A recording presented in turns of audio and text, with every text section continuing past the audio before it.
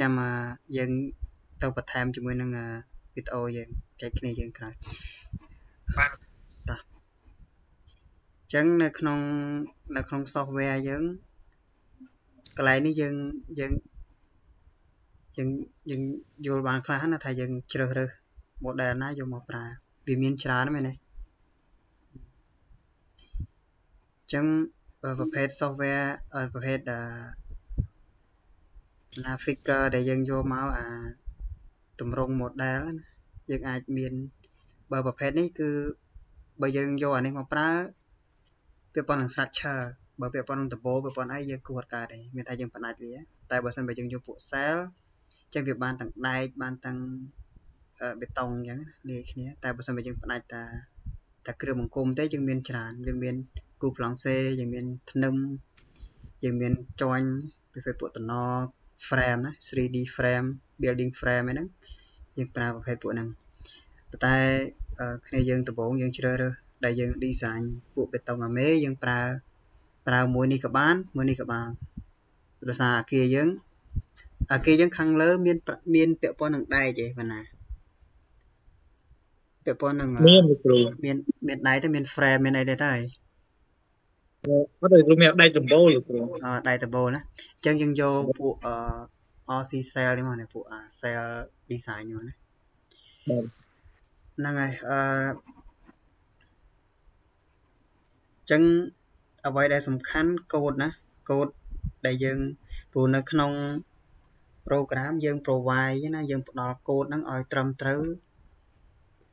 នៅពេលដែលយើង design ពេលពេលដែលយើងចេញទិន្នន័យមក ឲ្យច្បាស់ថាកូដដែលយើងយកមកប្រើកូដអីណាហើយព្រោះកូដវាពាក់ព័ន្ធជាមួយនឹងមេគុណមេគុណព្រោះបើយើងព្រោះឥឡូវឃើញចេញដល់3.18.014នេះតែឥឡូវគ្រូប្រើតែ3.18.018មានថាវា2008អញ្ចឹង2008យើងនៅនៅស្រួលប្រើអញ្ចឹង software robot យើងអាចប្រើចន្លោះពី2013ណា10 13 15 18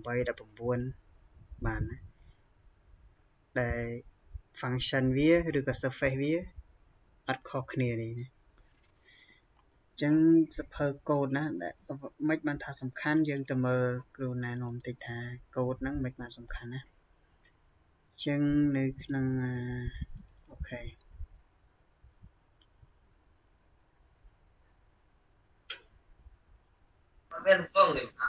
ចានេះលោកគ្រូដកស្រង់ពីសភៅមកណា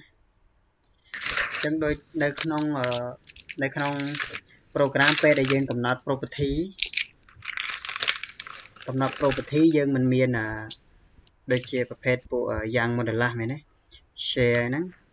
share modular យ៉ាង modular មានគុណ e es ec បើណា es តំណាងឲ្យអីគេ es ហ៎ es និង ec es តំណាងឲ្យ elastic steel គ្រូ200,000ចា ec យើងតំណាងឲ្យអី elastic បេតុងអូខេហ្នឹងហើយអញ្ចឹងនៅក្នុងហ្នឹងគឺយើងកំណត់ប៉ុន្តែជិះទៅគ្រូឃើញកូដមួយចំនួនគេប្រើកន្លែងនេះ EC ហ្នឹងពួកមន់បេតុងគេប្រើគេប្រើ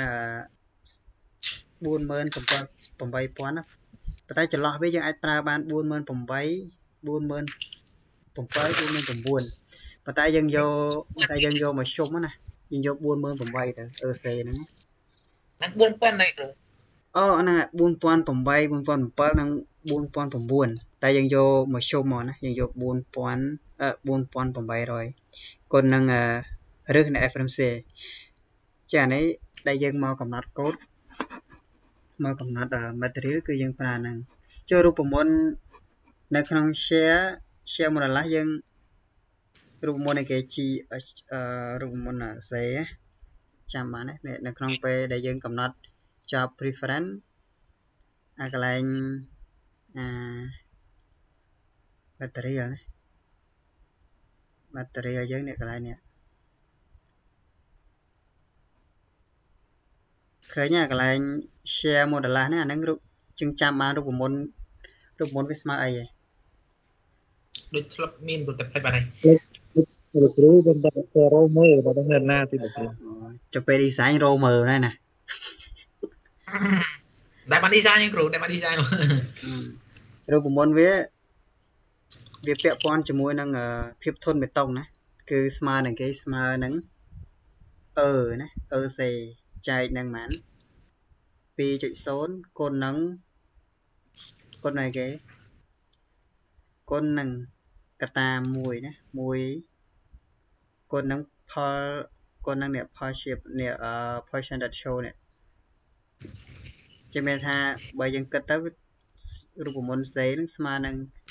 អឺសេចែកនឹង2គុណឲ្យកតា1បូកនឹងវេអានេះរូបមន្តដែលយើង share ណា share មួយដុល្លារនៅក្នុងនៅក្នុង program យើងយើងប្រែប្រួលតែពីរហ្នឹងឯង មានថាយើងអាតម្លៃផលផលខ្ញុំផលធៀបនេះអានេះគឺតម្លៃនេះបានមកពីការពិសោធន៍ដែលយើងគេកំណត់ថាចន្លោះពីប្រហែលអឺ1.5 1.1.15 1.2 1.25ប៉ុន្តែយើងយកមកជុំមានន័យថាយើងយកតម្លៃ1.2 0.2កន្លែងនេះបើយើងគិតអញ្ចឹង ពេលដែលយើងកំណត់ដំបូងគឺយើងយើងចាំតែកន្លែងនេះទៅរូបមន្តយើងអាចគុណមកថាភាពធន់បេតុងប្រហែលអឺ30មេហ្គាប៉ាស្កាអញ្ចឹងជំនួសរូបមន្តចូលមករូបមន្តយើងវិញឲ្យគេប្រហែល4000ប្រហែល4500អត់សេហ្នឹងគ្រូបាទបាទអឺសុំសុំម្ដងទៀតបានទេគ្រូកន្លែងចូល material modify ហ្នឹងគ្រូនេះយើង យើងចូលចោល preference មកហើយនេះយើងចូល tool ចោល preference មកប៉ុន្តែកន្លែងនេះដោយសារអីដោយសារតែលោកគ្រូបានកំណត់ម្ដងហើយដែលលោកគ្រូដាក់ឈ្មោះថា ACI code 2008ប៉ុន្តែអ្នកទាំងគ្នាអត់ទាន់មានវាចេញបែបនេះវាចេញចេះណានេះវាចេញចេះនេះវាចេញវាចេញចេះវាចេញចេះណាដែលយើងអត់បានកំណត់ទេ ថ្ងៃនេះលោកគ្រូអត់តន់ចូលតែគាត់ថាយើងណែនាំគ្នាយើងត្រួសត្រាសសិនណាថាតាមម៉េចបានថាកូដហ្នឹងវាសំខាន់នៅក្នុងការ design ព្រោះនៅក្នុងពេលមែនតែនទៅយើងចេញអតិន័យហ្នឹងឲ្យឲ្យគេមានថាជាអំណះអំណាងថានេះយើងបានយើងគណនាមកប៉ុណ្ណឹងគឺដោយសារដោយសារសភៅនេះដោយសារកូដប៉ុណ្ណេះប៉ុណ្ណេះចឹងបានពេទ្យមុននឹងយើង សញ្ញាណាពូពេទ្យពេលដែលយើងអ្នក design យើងយើងដឹងថាយើងយកតិន័យហ្នឹងមកពីណាព្រោះនៅក្នុង robot វាវាគ្រាន់តែជា program មួយដែលឲ្យយើងធ្វើការគណនាបន្ទុកលឿនទេតែអ្វីដែលសំខាន់គឺយើងអ្នកបញ្ចូលទិន្នន័យឲ្យណាចឹងបើយើងបញ្ចូលទិន្នន័យទៅអត់ត្រូវ error អាហ្នឹងបញ្ហាហើយណាចឹងបានពេលខ្លះគាត់សួរថាពួកខ្ញុំ design ឲ្យអត់ហ៊ានយកប្រើអាហ្នឹងអាហ្នឹងបញ្ហាបានណាធ្លាប់ធ្លាប់អញ្ចឹងហ៎ខ្ញុំមិនដែលបាន design មកលោកគ្រូអត់ដែលបាន design ឥឡូវរៀន design ណាតិចទៀតយើងពេលដែលយើង design ទីមួយយើងបាទបាទខ្ញុំគិតទៅនេះលោកគ្រូអូខេต็មចូលណាអត់អីថ្ងៃនេះលោកគ្រូអត់មានអីច្រើនទេគ្រាន់តែចែកម្លែកគ្នាយើងថាពាក់ព័ន្ធនឹងកូដ យើងយកមក design ហើយនឹងកំណត់នៅ material ខ្លះខ្លះមុននឹងយើងទៅយល់ដឹងប្លង់អាស្តិចអីគ្នាយើងមានយើងមានចម្ងល់អីហើយពេលដែលយើងរៀននេះគឺពេលចប់គឺគ្រូនឹងពេលថាយើងរៀនមួយមួយសប្តាហ៍អញ្ចឹងឬក៏ពីរសប្តាហ៍យើងយើងទៅ note ឬក៏ទៅសរសេរនៅក្នុងសិភៅយើងទ្រុសទ្រុសពេលដែលយើងចប់យើង upgrade បានបេតុងអាមេអញ្ចឹងយើងបានមួយក្បាលគឺការប្រើប្រាស់ program សុទ្ធលោកគ្រូសូមបាទសួរនឹងអឺព្រោះតែស្រាប់ខ្ញុំខ្ញុំអត់ដឹងថាដែរដើម្បីឲ្យការគិលបានល្អហ្នឹងយើងត្រូវ focus លើបេតុងអាមេប៉ុណ្ណាហើយជំហានទៅដែរដល់មិនខ្លះព្រោះសម្រាប់ខ្ញុំគឺទៅទេបងខ្ញុំអត់ទៅយល់អត់ទៅអត់ដឹងថាគេស្កេនេះនោះមិនយកមកប្រើនោះទៅពិបាក អូខេចាលោកគ្រូនិយាយថារបៀបរវាងគណនាដៃហើយនិង program ជំហានបេតុងអាមេយើងយើងយើងដឹងថាអូយើងគណនាថាកម្លាំងមែនទេយើងគិតថាអូកម្លាំង25មិនបានយកកម្លាំង25មិនបានយកកម្លាំង30មិនបានយកកម្លាំង40 35មែនទេបាទកម្លាំងបេតុងយើងត្រូវគិតថានៅពេលដែលទម្ងន់អាគារស្រាលបើយើងប្រើកម្លាំងបេតុងធ្ងន់ធំគឺវាអត់ប្រយោជន៍មានន័យថា ឧទាហរណ៍យើងត្រូបានប៉ុន្មានកម្លាំង compression មែនទេព្រោះបេតុងវាធន់នឹងកម្លាំង compression កម្លាំងមិនថាកម្លាំងសង្កត់បើកម្លាំងទាញអសោឺយើងប្រើតសៃដែកមែនទេដែលបាទអឺវាទប់នឹងកម្លាំងទាញអញ្ចឹងយើងត្រូវដឹងថាតើអាគារយើង design ប្រមាណជាន់ឧទាហរណ៍បើអាគារកាន់តែខ្ពស់វាត្រូវការភាពធន់ខ្លាំងដើម្បីទប់ទល់នៃគេ compression គេហៅ cracking ហ្នឹងណាអាគេហៅអឺ យើងឃើញតែសហើយពួកពួកស្ពានពួកអីឃើញវាមានវាស្រោចហ្នឹងមានថាវាវា sway វាអីចឹងណាអញ្ចឹងបើអាគារធំយើង design ភាពធន់តូចក៏បានដែរប៉ុន្តែគ្រាន់ថាមុខកាត់វាធំឧទាហរណ៍បើយើង design កម្លាំង40 40 megapascal វាឧទាហរណ៍វាឃើញតែមុខកាត់40គុណ40អញ្ចឹងណាតែបើយើង design កម្លាំង25វាឡើងដល់6 7អីចឹងណាតោះនេះបានវាទប់ជាមួយនឹងអាកម្លាំងសង្កត់ជាប់តោះណាបាទ បាទអាហ្នឹងលក្ខណៈលក្ខណៈបេតុងថាបេតុងតើយើងគួរជ្រើសរើសកម្លាំងបេតុងប៉ុណ្ណានៅក្នុងគ្រឿងបង្គំយើងឧទាហរណ៍ថាពេលខ្លះអាគារផ្ទះល្វែងយើងប្រើកម្លាំង30វាប្រើមិនបាច់ចាំប្រើទេព្រោះអីកម្លាំងវាអត់ដល់ឧទាហរណ៍ថាកម្លាំងសង្កត់អាគារប៉ុណ្ណឹងវារត់អត់ដល់ទេអស់យ៉ាង240ហ្នឹង260អីអស់ហើយអញ្ចឹងយើងប្រើ280ទៅគ្រប់គ្រាន់ណាស់មិនបាច់ចាំដល់300ណាមិនបាច់ចាំដល់350 អញ្ចឹងយើងពេលដែលយើង engineer យើងដឹងថាតើគួរជ្រើសរើសកម្លាំងដូចប្រភេទដែកអញ្ចឹងណាដែកក៏ដូចគ្នាព្រោះលោកគ្រូចោះក្នុង program robot ហ្នឹងយើងអាចយកមក design អឺគ្រឹះបានអត់គ្រូបាន design បានបានអត់ design គ្រឹះយើងតើយើងមានប្រភេទដូចថា design ពួកអីគេពួក spread footing ពួកអឺគ្រឹះជំរៅគ្រឹះរាកអីចឹងណាហ្នឹងហើយប៉ុន្តែគាត់ថាយើង design ផ្ដាច់ដោយផ្នែក លោកគ្រូនឹងបរៀនកន្លែងហ្នឹងដែរប៉ុន្តែដំបូងគ្រូអឺបរៀននេះគឺបរៀនយកទិន្នន័យយក structure ពី program ហ្នឹងមកគណនាមានថាយក structure ពី program មកគណនាព្រោះនៅក្នុង robot ឥឡូវគ្រូបិទកន្លែងនេះមកផ្លែតថាវាគណនាបានអីគេខ្លះឧទាហរណ៍បើគ្រូយកថាយក new project មកហើយគ្រូពាក្យថាយកកន្លែងនេះណាអញ្ចឹង នៅក្នុងនេះយើងមានណានេះយើងមានអឺធ្នឹម column foundation ណាហើយនឹងអឺពួក continue footing អញ្ចឹងអានេះយើង design មួយមួយឧទាហរណ៍យើងបានទទួលបានទិន្នន័យពី robot អឺពេលអ៊ុយណាកម្លាំងចុងសសរហ្នឹងប្រហែលបើយើងអញ្ចឹងយើងមកគណនាថាតើបើយើងគណនា footing អឺ ឬក៏ផៃ footing ដែលយើងអត់ប្រើផៃ cap ហ្នឹងយើង design ទៅយើងឃើញមុខកាត់បានបើវាទប់ជាប់យើងមិនបាច់ចាំប្រើសសរគ្រឹះបើយើងអត់ទប់អត់ជាប់ទេយើងប្រើសសរគ្រឹះហ្នឹងទៅបើដើម្បីកាត់បន្ថយមុខកាត់ហើយនឹងកម្រាស់របស់ជើងតាងយើងណាតោះនេះអញ្ចឹងបានក្នុងគ្រូបាទចាំចាំតាំងអាហ្នឹងឯងគ្រូហ្នឹងហើយព្រោះក្នុង software យើងមាននេះតែយើងត្រូវដឹងថាយើងប្រើពេលណាពេលណាយើងយកវាមកប្រើអញ្ចឹងណា ឧទាហរណ៍ថា ក្នុងអាគារគេឲ្យគេឲ្យទិន្នន័យមកទាំងអស់លើកលែងតែជើងតាមថាគេឲ្យទិន្នន័យអឺពេលអ៊ុយតាមតសយើងមួយមួយប៉ុន្មានតសទឿយើងប៉ុន្មានប៉ុន្មានអញ្ចឹងគេគ្រាន់តែចង់ដឹងថាជើងតាងយើងទប់ជាប់អត់បើបើគេឲ្យកម្រាស់ប៉ុណ្ណឹងអញ្ចឹងយើងមក design តែជើងតាងទៅដាក់ជើងតាងយើងដាក់កម្លាំងគេហៅ point load មកបន្ទុកបន្ទុកចំណុចចំកណ្ដាលមកហើយយើង analyze ទៅយើងឃើញហើយ analyze ថាគ្រូ design យ៉ាង new foundation មួយហ្នឹងហើយ new foundation មួយវាចេញមកវាចេញមកប៉ុណ្ណឹងហើយអញ្ចឹងយើងអ្នកកំណត់យើងកំណត់មានថាយើងកំណត់គេហៅ primary section ហ្នឹងណាមុខកាត់មុខកាត់ដំបូងដែលយើងយកមកប្រើ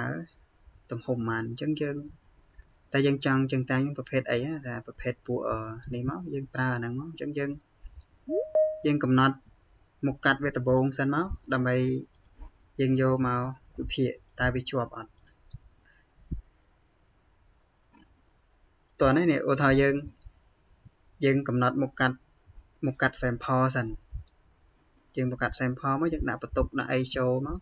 ពេលអុយណាអឺបន្ទុកចំណុចចូលមកអញ្ចឹងពេលដែល analyze វានឹងប្រាប់យើងថាអអឺ section ហ្នឹងអត់ជាប់ទេឬក៏កម្រាស់អត់ជាប់ទេអញ្ចឹងយើង increase មានថាយើងបន្ថែមវាថាយើងបន្ថែមមកទឹក មកទឹក4ជ្រុងជុំវិញអញ្ចឹងទៅបើយើង design ជាប់អូខេប៉ុន្តែមុននឹងយើងវិភាគអានឹងបានលុះត្រាតែយើងឲ្យច្បាស់ទិន្នន័យដែលយើងបញ្ចូលតើតើទិន្នន័យដែលយើងបញ្ចូលនៅក្នុង software ហ្នឹងត្រូវនៅព្រោះសំខាន់តែយើងបញ្ចូលទិន្នន័យខុសពេលចេញលទ្ធផលមកយើងអត់ទំនុកចិត្តខ្លួនឯងថាយើង design ហ្នឹងវាអូខេពេលខ្លះ design ឲ្យភ័យទៀតណាឲ្យគេប្រើបាទលោកគ្រូ ពីតែចង់ចេះឲ្យស្និទ្ធដូច SketchUp វាតែគេប្រើស្និទ្ធតែមិនជឿជាក់គ្រូបាទអញ្ចឹងយើងតើតើយើងអញ្ចឹងបានថាលោកគ្រូថាឆ្លៀតពេលតនេទៅទៅអានសភៅអានមើលយើងចង់ដឹងថាអូមេគុណធ្នឹមអញ្ចឹងបើដូចជាមេគុណអញ្ចឹងកូដនេះគេយកប្រមាណកូដនេះគេយកប្រមាណហើយប្រើមិនបែបចឹងគ្រូគ្រូមានបានអីទេគ្រាន់តែ ពេលដែលរៀនអញ្ចឹងចេះជួយណែនាំគ្នាយើងណាតែបើគ្នាយើងចង់ឲ្យច្បាស់លុះត្រាតែយើងប្រឹងប្រែងបន្ថែមណាជាមួយនឹងមិនថាសិភើខ្មែរឬអង់គ្លេសប្រឹងប្រែងបានយើងអាចទៅបានណាព្រោះនេះវាជាមុខវិជ្ជាពិតដែលយើងតើតើយើងដឹងច្បាស់បានយើងយកមកប្រើបានណាបាទគូបាទអញ្ចឹងនៅក្នុងនេះនៅក្នុងកន្លែងនេះ structure នេះណាអាហ្នឹងវាមានច្រើននៅក្នុងនេះយើង អនុញ្ញាតឲ្យយើងគណនាបានធ្នឹមណាតសជើងតាងអីចឹងមកណាលោកគ្រូលោកគ្រូខ្ញុំចង់ចង់សួរមួយលោកគ្រូពាក់ព័ន្ធនឹងជើងតាងរបស់យើងណាលោកគ្រូបាទអញ្ចឹងខ្ញុំចង់ខ្ញុំចង់ឲ្យលោកគ្រូមានមានការងារណាដែលលោកគ្រូធ្លាប់ design ទៅយើងយើងអាចយកបន្ទុកមកដាក់សាក់មើលមួយអញ្ចឹងណាលោកគ្រូយើង យើងទៅវិភាគជើងតាងនេះចាំយើងអាគារវិភាគអាគារយើងផ្ទាល់តែម្ដងណាបាទបាទពេលដែលយើង design គឺយើងទៅមកសិតហ្នឹងហ្មងអញ្ចឹងមានថាគ្រូអត់ជ្រើសរើសយកមួយទេមានថាដំបូងយើងយើង model ចេញដើម្បីឲ្យយើងតាម step តាមជំហានហ្នឹងគឺយើងយើង model យើងទៅ model អាគារយើង មានថាយើងដំបូងយើងសិតហើយយើងអាគារអាគារដែលបណ្ណាគ្នាយើងឲ្យមកហ្នឹងនេះ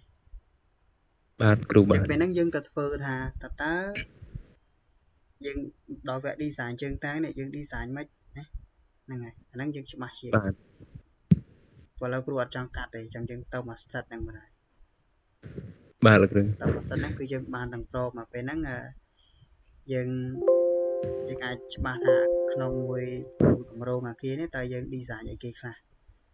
ហ្នឹងហើយបាទគ្រូបាទអូខេគិតថាអានេះរៀងល្អដែរណាដែលទី1 structure structure វាពុតពេនណាវាបត់បែនអញ្ចឹង structure ដែលយើងមក model នេះគឺយើងយើងត្រូវមើល plastic ជាដំបូងនេះអានេះប្លង់បាតមែនទេបណ្ណាប្លង់ជាន់ផ្ទាល់ដីណា first ឯ first floor អូនេះអូខេនេះខ្លាំងជាងគ្រូអូខេអញ្ចឹងអានេះ ground floor ណាអានេះ flong ប្លង់ទៅសក្រោមអញ្ចឹងគ្រូឃើញមាន structure គេមានទៅស trade ទៅសអីណាហ្នឹងហើយអាហ្នឹងអែមណា design អែមណាអញ្ចឹងចឹងមិន design សាហាវណាគ្នាយើង design ត្រង់ត្រង់អត់សុបាយមែនទេ design ឲ្យកោះខុសព្រាត ឲ្យតែនេះស្អីចេះគ្រូគេថាគេថាបើអាយ៉ាប់ចេះអាស្រួលក៏ចេះគ្រូហ្នឹងហើយអត់អីទេគ្រូបើយើងសំខាន់យើងយើងត្រូវដឹងថានេះឃើញ structure អញ្ចឹងយើងគួរចាប់អាណាមកអញ្ចឹងណាយើងគួរចាប់អីគេមុនដើម្បីឲ្យ structure យើង design មកត្រូវអញ្ចឹងដំបូងយើងគឺប្រាប់ទ្រុសទ្រុសឲ្យព្រោះស្អែកយើងត្រូវចូលណាតែថ្ងៃនេះយើងមកនិយាយទ្រុសទ្រុសសិនដើម្បីយើង យើងគណនាឬក៏យើង model structure ឲ្យបានល្អទីមួយយើងយើងមកកំណត់អមេមានថាអមេតសមេចាំពេលតសរងចាំយើងមកកំណត់ប្រើដូចជាតសប្រភេទពួកតសនេះអញ្ចឹងអឺដូចជាតសតេអស L ហ្នឹង L ណាអញ្ចឹងយើងគូគូមិនហើយយើងកំណត់អហ្នឹងបែបណាអញ្ចឹងអដំបូងនៃគ្រូ គ្រូចាប់នេះគឺយើងកំណត់មុនតែកំណត់ដំបូង primary ណាបន្ទាប់មកចាំយើង offset មានថាយើងកំណត់ថ្មីមួយសម្រាប់ដូចតែសម្រាប់តែតសចនាយន្តគូចាប់អគូចនាចនាកោកម្ដងចនាកោកហ្នឹងមិនធ្នឹមវាមិនមិនយើងគូចាប់ហើយចាំយើងមកគូតសមេនេះបញ្ចប់យើងធ្វើការទៅស្រួលណាបើសិនបើយើងអត់ដឹង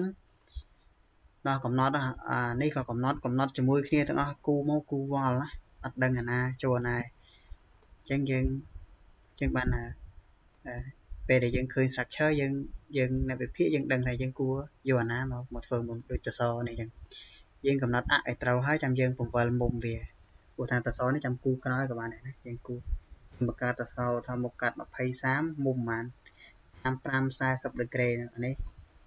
ហើយតសនេះគឺវា trade ប្រហែល44.62ដឺក្រេអញ្ចឹងនៅក្នុង program វាមានពេលយើងកំណត់ section property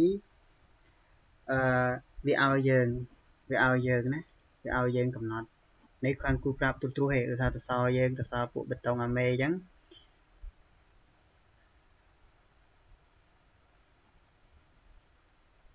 ហ្នឹងហើយដូចជាអញ្ចឹងវាមានឲ្យយើងនេះអញ្ចឹងយើងអាចកំណត់បានហើយ សសរឬក៏កន្លែងនេះមុំវាយើងដាក់មុំប្រហែលនៅក្រេអញ្ចឹងពេលកន្លែងហ្នឹងយើងអាច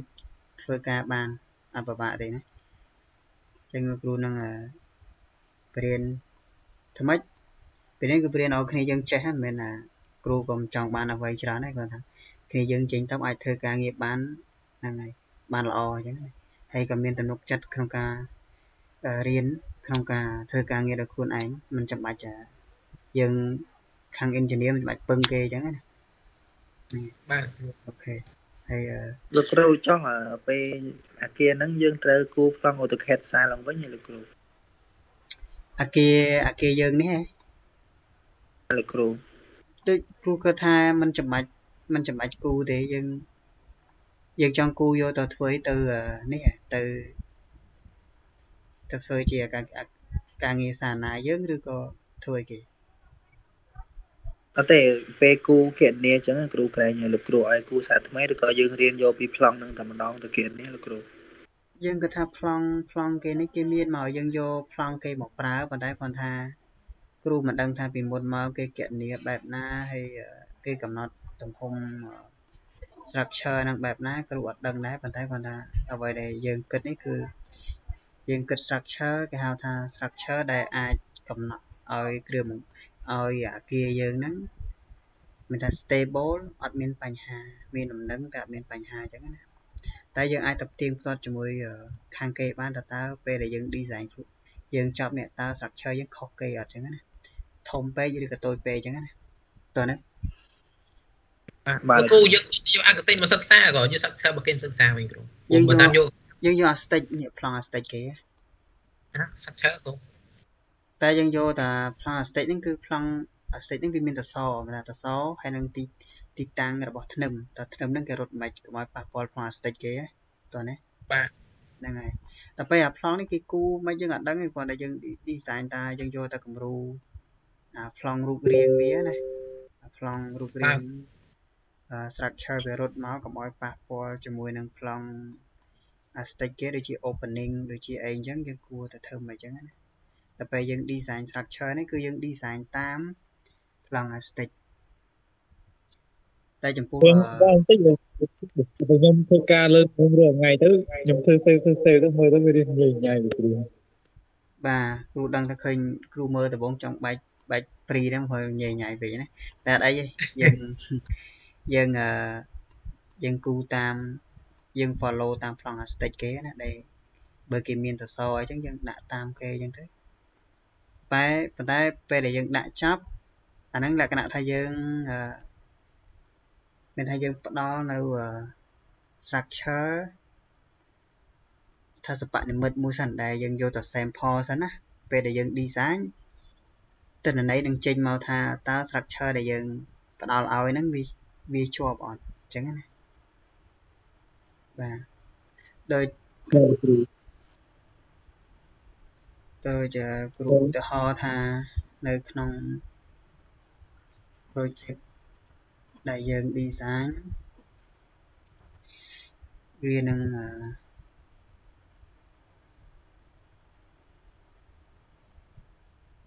វានឹងចេញឲ្យថា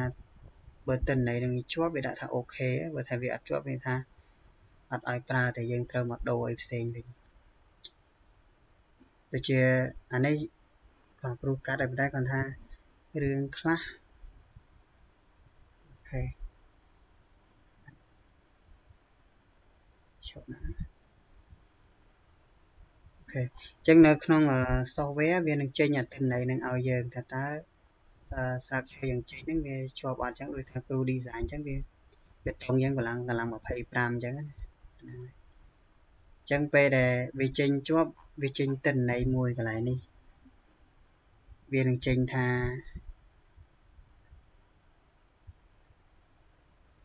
គេវាចេញកម្លាតចេញអីយើងប៉ុន្តែគាត់ថាបើវាអត់ជាប់នៅខាងក្រោមវានឹង note គឺថាកន្លែង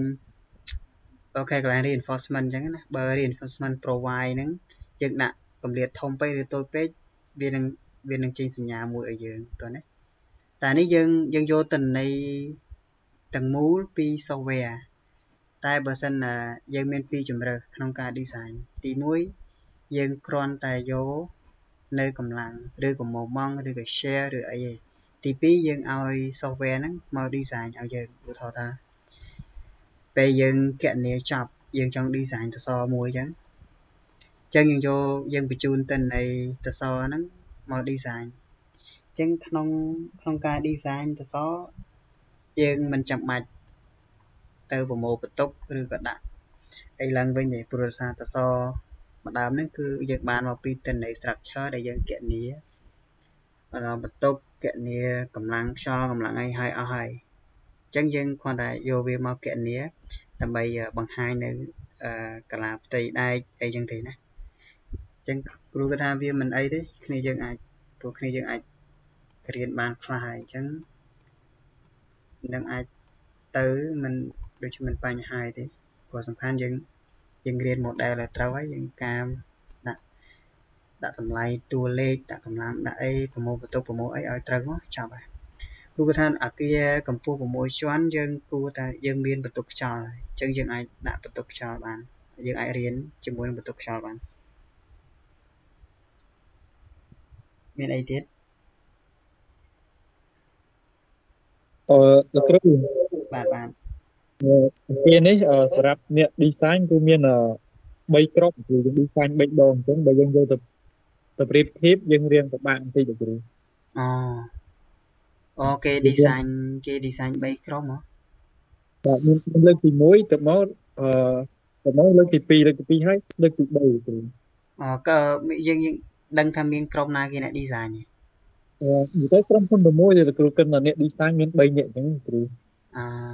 ហ្នឹងហើយឃើញនៅក្នុងនោះវាមានខុសគ្នាគ្រូខុសគ្នាពីគំនុះមួយទៅគំនុះមួយគ្រូអឺ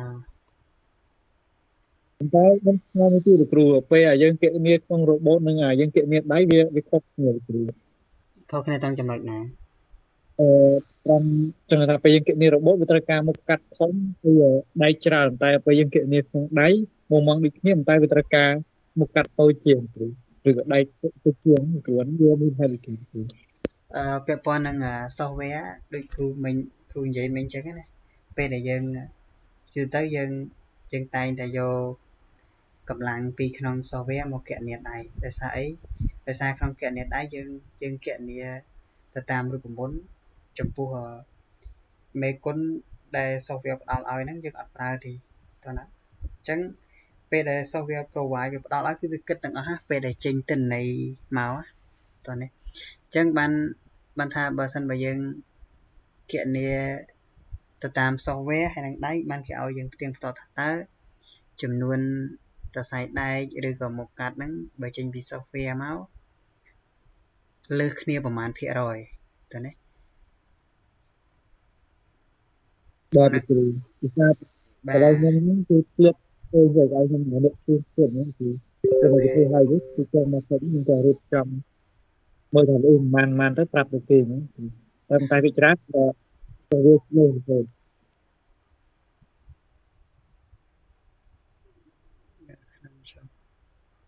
ជាងនេះជាទៅនៅក្នុង ពេលដែលយើង design បើសិនបើយើង design ក្នុង software robot តែម្ដងវានឹងលើសហើយព្រោះរសារអីវាគិតវាគិតទាំងអស់ក្នុង software វាអត់វាអត់ដកចំណុចណាមួយដូចដូចយើងនៅក្នុងរូបមន្តដែលយើងបំបែកយើងគណនាដៃមកហើយទេប៉ុន្តែមានមាន software ឬក៏ app មួយចំនួន នៅពេលដែលយើងយកទិន្នន័យមកប្រើគ្រូនឹងណែនាំគ្នាយើងថាយើងតើយើងគួរជ្រើសរើស ហើយនឹងប្រៀបធៀបបែបណាបើសិនបើយើងគណនាដៃហើយនឹងយើងគណនាជាមួយនឹង robot អញ្ចឹងណាពេលហ្នឹងយើងយើងអាចដឹងខ្លួនឯងថាយើងតើយើងគួរជ្រើសរើសតែម៉ូម៉ង់តែកម្លាំងកម្លាំងកាត់មកសិក្សាឬក៏យើងរុញទិន្នន័យហ្នឹងតែប៉ុន្តែយើងអាចកាត់បន្ថយបានឧទាហរណ៍ថានៅក្នុង software ពេលដែលយើងរុញទៅថាយើងគណនាធ្នឹមមួយពេលវាចេញដំបងទិន្នន័យដំបងវាចេញមកគឺដែកច្រើនតែយើងដកមកថាយើងដកចេញដករហូតតលតែ diagram moment ឬក៏ diagram ពួក provide ហើយនឹង design ហ្នឹងវាអត់សូវខុសគ្នាច្រើនណាតោះនេះបងណាបាទលោកគ្រូតើគូនិយាយព្រោះព្រោះនៅក្នុង software វាចេញ diagram មកយើងថាវាចេញ diagram ទៅអឺ moment cracking ពេលដែលយើងវាចេញឧទាហរណ៍ពេលដែលយើងដកតសៃដែកចេញប្រមាណដើមតើ diagram moment ហើយនិង diagram អឺដែលធ្វើឲ្យបេតុងយើងប្រេះបែកហ្នឹងដែលធ្វើឲ្យបេតុងយើង crack ហ្នឹងមានភាពដាបហ្នឹងនៅក្នុង zone ណាពេលដែលយើងដករហូតតតែអឺគម្លាតរវាង diagram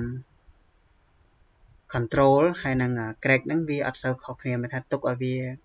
ក្នុងកម្រិតមួយដែលជាប់បានហើយឬក៏លើសចំនួនតិចចឹងណាព្រោះពេលខ្លះគ្នាយើង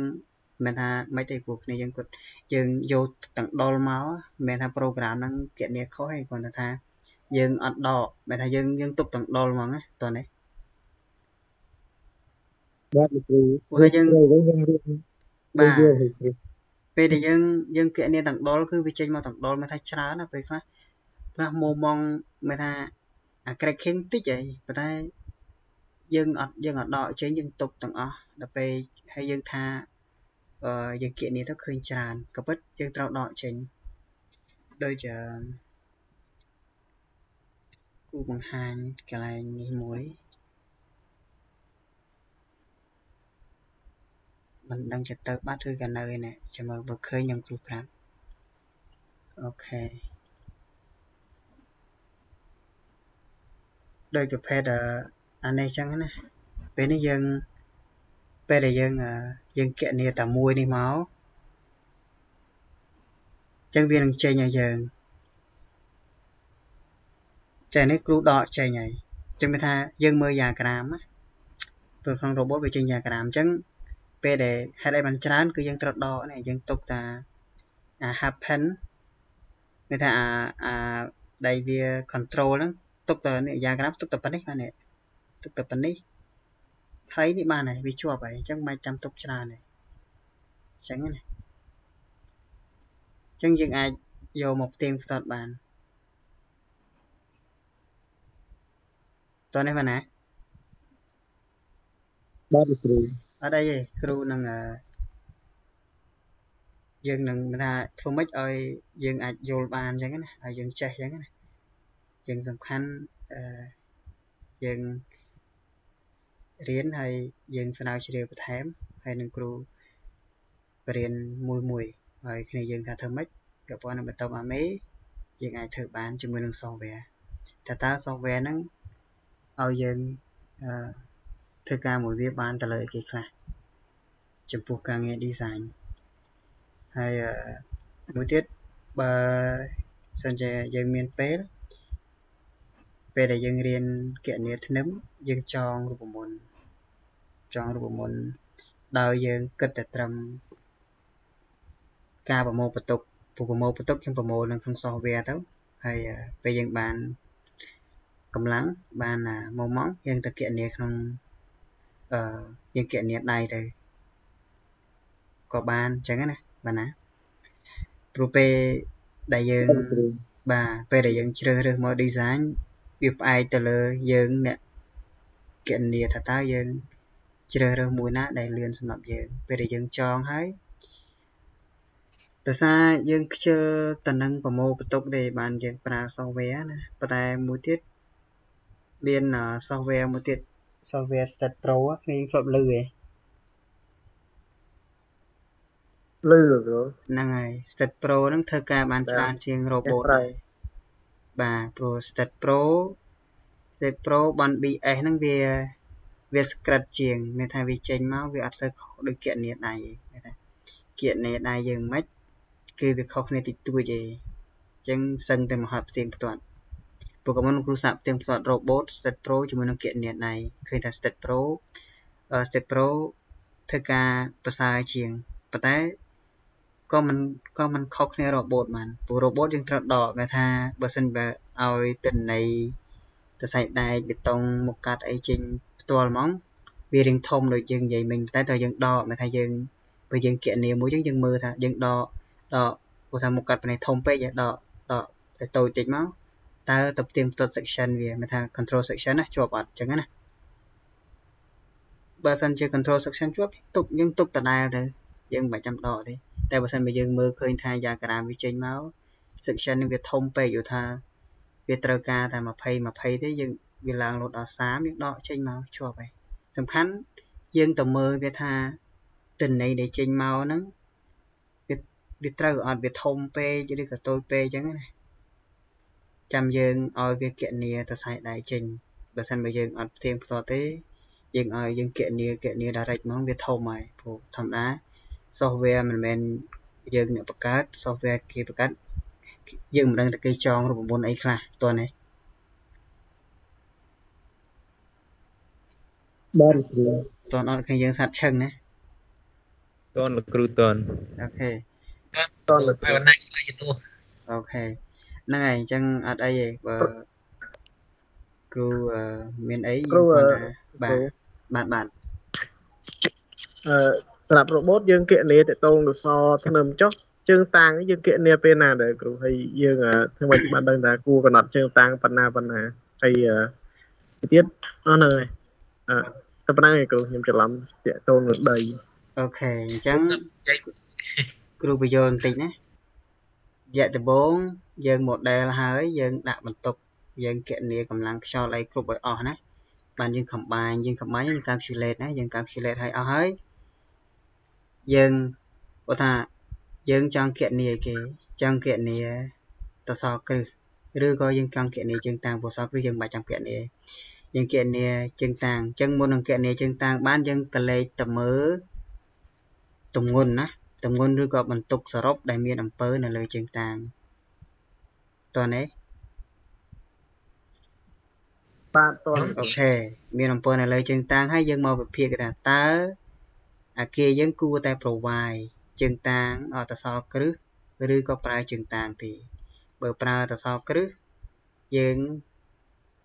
យើងមកសិក្សាយើងទៅយកទិន្នន័យពីខាងគ្រឹះតើតើគ្រឹះគេមួយដើមហ្នឹងលទ្ធភាពត្រូលត្រង់បានវា មួយដើមត្រូលបានប្រហែលតោនតើណាបានលោកគ្រូតែពេលយើង ដឹងថាតសគ្រឹះមួយដើមត្រូលបានប្រមាណតោនហើយយើងមកយកទម្ងន់ឬក៏បន្ទុកសរុបក្នុងមួយតសនេះមកចែកនឹង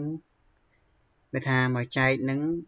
លទ្ធភាពត្រូលត្រង់របស់តសគ្រឹះក្នុងមួយដើមពេលយើងចែកទៅយើងឃើញថាតើ អឺអាគារយើងអតសតសយើងមួយដើមនេះជើងតាងយើងមួយនេះត្រូវការតសគ្រឹះប្រមាណដើម្បី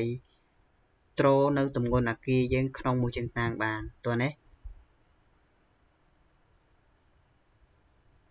បាទបាទលោកគ្រូអូខេពេលដែលយើងដឹងហើយបានយើងមកគណនាមុខកាត់ឬក៏ទំហំរបស់ជើងតាង ដោយយើងប្រើតាមមេគុណប្រមាណ D ប្រមាណ D ទៅណា ពីអ1ទៅអ1របស់ជើងតាង 3D ពីអមកកេមខាង 1D កន្លះអីចឹងណាតាមតាមកូដតើណាតនលោកគ្រូអាហ្នឹងយល់អាហ្នឹងខ្លឹមបាទអូខេអញ្ចឹងបានយើងអាចគណនាទំហំមុខកាត់បានមួយទៀតតែមួយព្រោះចុះអាហ្នឹងសម្រាប់អឺជើងតាំងគឺយើងប្រើតគ្រឹះបុកពីក្រោមហ្នឹងបាទ សម្រាប់ផ្ទះដែលមុំមុំហើយប្រើតែអឺជើងតាងអញ្ចឹងណាគ្រូអានេះយើងកំណត់ទំហំជើងតាងកម្រាស់ជើងតាងមិនកើតហើយមួយទៀតអឺតកតងនឹងទិន្នន័យដីអាហ្នឹងគេបញ្ចូលមិនដែរគ្រូអឺទិន្នន័យដីយើងយើងអាចបាត់បញ្ចូលយើងបញ្ចូលបានលុះត្រាតែយើងដឹងតើយើងគណនាជាមួយនឹងពួក basement basement wall ណាពួក basement wall វាមិនកប់នៅក្នុងដីមែនទេ តែយើងគណនាយើងគណនាតែសម្ពាធទេសម្ពាធដីរួចមកអញ្ចឹងយើងអាហ្នឹងបានយើងត្រូវគណនាតែអត្តន័យដីហ្នឹងគេយើងបានមកពីពួក soil investigation ពួកតេស្តដីធ្វើតេស្តដីណាពេលដែលអាគារយើងពេលដែលគេប្រើពួក DCP ឬក៏ SPT ណាពួក dynamic sense compenetration test ហ្នឹងឬក៏ពួកអឺគេហៅថា dynamic dynamic count អឺ penetration test ឬក៏អឺស្អីគេមួយទៀត DCP និង SPT យើងហ្នឹង sense count ហ្នឹងអញ្ចឹងពេលដែលគេពួកហ្នឹងពេលដែលគេតេស្តមកគេនឹងចេញទិន្នន័យមួយថាគេឲ្យចម្លោះសសរគ្រឹះ20គុណ20 25 25 30អីចឹងហើយក្នុងមកមកស៊ូនទៀតគេគេឲ្យជើងតាងវិញថាដីនេះបើយើងជីកជម្រៅប្រហែល2ម៉ែត្រ មុខកាត់របស់ជើងតាងអឺប្រមាណគុណប្រមាណលទ្ធភាពត្រួតត្រងរបស់ជើងតាងប្រមាណប្រមាណតោនតោះនេះបាទគ្រូអូខេអញ្ចឹងពេលដែលយើងដឹងលទ្ធភាពត្រួតត្រងការ៉េមិនថាការ៉េដីណាថាដីយើងប្រភេទដីមិនសូវល្អទេការ៉េវា ក្នុងមួយការ៉េត្រូបានតែ11តោនឬក៏12តោនអញ្ចឹងណាក្នុងជម្រៅ 1ម៉ែត្រកន្លះឬក៏2ម៉ែត្រចឹងព្រោះឧទាហរណ៍អញ្ចឹងណាពេលហ្នឹងយើងមកគិតថាបើសិនបើជើងតាងយើងត្រូបានតែ11តោនហើយអឺអាគារយើងណាអាគារយើងវាត្រូវការរហូតដល់20តោនអញ្ចឹងយើងបរិយជើងតាងទៅបរិយរហូតតាន់តែលទ្ធភាពទ្រទ្រង់របស់ជើងតាងធំជាងធំជាង បន្ទុកដែលមានអំពើនៅលើជើងតាងឃើញទេបាទអូខេ ពេលហ្នឹងយើងចាប់ដើមទៅគណនាកម្រាស់កម្រាស់ហ្នឹងបានមកដោយសារយើងយើងឆែកទៅលើ punching share ណាមានថាកម្លាំងបុកទម្លុះរបស់ជើងតាងដោយយើងគិតប៉ុន្មាន 1D កន្លះចេញពីអរបស់សសរគ្រឹះមកពេលដែលយើងគណនាកម្រាស់ចេញយើងដឹងថាយើង provide កំណះជើងតាងប៉ុន្មានធៀបនឹងមុខកាត់អញ្ចឹងអត់មានអីទេអឺវគ្គហ្នឹងលោកគ្រូនឹងឲ្យគ្នាយើងណាព្រោះយើងពេលដែលយើងចាប់មកខុស គឺយើងមកធ្វើការងារសាកបងអញ្ចឹងតោះតែបើគ្នាយើងគ្នាយើងយល់អាហ្នឹងយើងយើងតទៅមុខទៀតអញ្ចឹងណាហើយចំពោះការងារ design លោកគ្រូនឹង provide step by step ដូចថាយើងគណនាជើងតាំងអញ្ចឹងយើង complete ជើងតាំងចេញពីជើងតាំងយើងគណនាតសអញ្ចឹងណាគណនាសប្លង់សេអញ្ចឹងមកចប់តោះណាហើយក្នុងជើងតាំងលោកគ្រូនឹងណែនាំគ្នាយើងថាយើងគួរប្រើបើយើងអាគារអឺ កម្រិតកម្ពស់ប៉ុណ្ណាហើយវាអាស្រ័យទៅលើយើងជ្រើសរើសទេតែគ្រាន់តែថាបើសិនជាយើងប្រើជើងតាំងទំហំរបស់មានថាវាខាត់ space space វាធំវាត្រូវការផ្ទៃផ្ទៃត្រធំណាអញ្ចឹងវាខាត space យើងខាត space ហើយខាតបេតុងបើយើងប្រើតសគ្រឹះ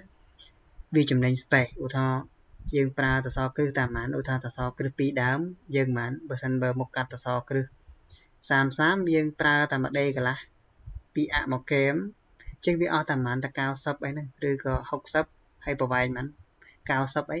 ចប់អត់ហើយតែបើយើងប្រើជើងតាងធំតើនេះចឹងវាខាត space យើងខាតកម្លាំងយើងជីកប្រហាប់ថ្មប្រហាប់អីជ្រៅបើថាខែភ្លៀងខែទៀត